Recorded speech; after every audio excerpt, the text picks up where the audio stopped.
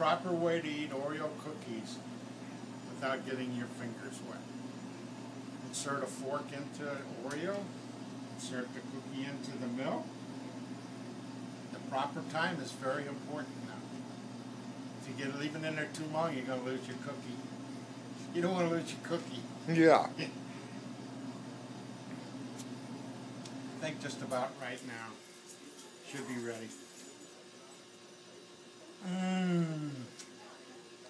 The only way to eat an Oreo.